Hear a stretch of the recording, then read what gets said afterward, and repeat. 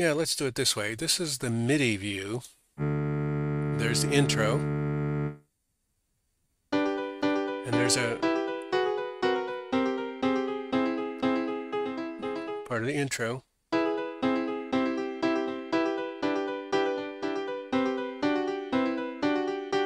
Now we hit it. You can really see the dissonance when these notes are so close together. Ladies and gentlemen, this is a recap of Composing in Multiple Dimensions, Part 62. Keep moving forward. In today's episode, we re-entered by using a new analogy. Composing is like making clothing. So the way people make clothing at home, they put fabric out on a like a dining room table, then they put a paper pattern on top of it that shows the shapes to cut out. So they cut out the fabric and then they piece the edges of the sections together until it's custom fitted to their body, and then they sew it up. So our cadences in our music program are kind of like um, the pattern.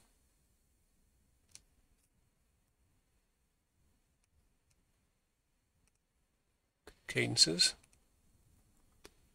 These things up here, because that's the that's the energy story. Uh, the the backbone and polyphon, which are down here, are the fabric. And then there's a bunch of metaphors. They say our work's cut out for us now which means after you've cut the pieces, there now you have to pin them together, which is called piecing it together, custom fitting, and final sewing.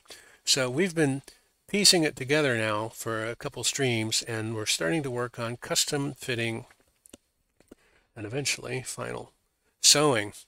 We so what we did, what we did is we went ahead and made one of our line diagrams, which uh, basically on the left-hand side I know it's hard to see this. You have the bar number, and for each bar number, it says what part it is for gives. Like here's here's bar nine, there's bar nine, and so forth and so on. So, in fact, that should really say bar nine. Bar nine is forgive. We can fix that. And then we went through and we scored it. We gave it a score for um, tempo, how fast it is, dissonance. You just saw, you heard that a minute ago. Um, the cadence, energy story, and the dynamic, how loud it is. And so this is, when you do take the time and try to do that, you get this gorgeous looking chart. This is the energy of tempo plus dissonance plus cadence plus dynamic by bar number. And then, of course, when you slow things down, which we did, we slowed tempo down several places today, like where it shows blue, then uh, those sections take longer. So now um, there's a there's a bit of a spreading out at certain parts of the curve. So this is the same curve by seconds across the bottom, and this is the curve by bar number. And we've already learned that it's useful to have both views because when you're trying to make changes, which was the point of doing this. We wanted to change our score. So for example, here where it says slower at bar 73, we decided to do that because the, the original shape of the chart looked kind of flat or, or, or monotonous or whatever you know word you want to put in there. So sure enough, we said, well, what if we do something here? What if we slow it down to 150 from 240, and what if we drop it to P from MP, and then we get a very nice effect there. So we did that all the way through. So that was, and, and we've done this before with other compositions. We just finally got around to doing it for this one. So those are our results.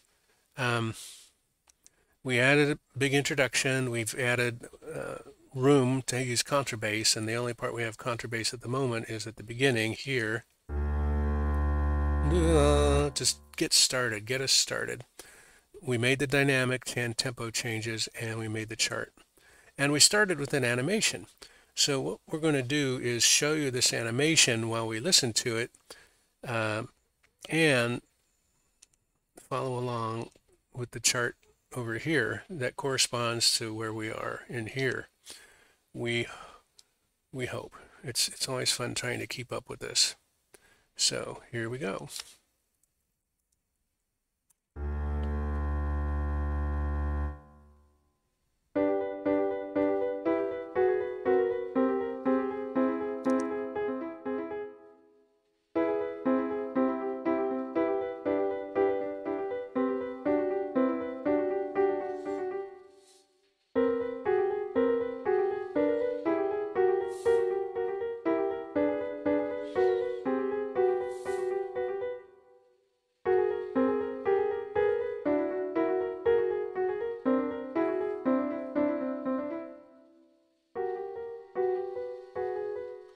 There's a drop in dynamic, I mean uh, tempo as well.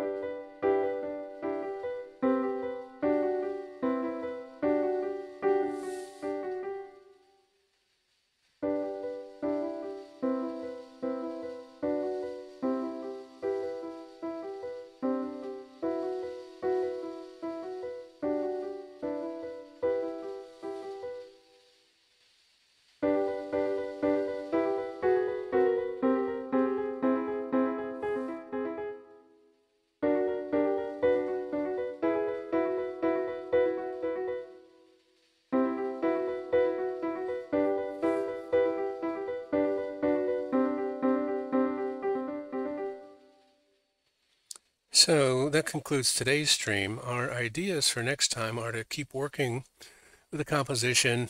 Um, I want to make a stronger ending.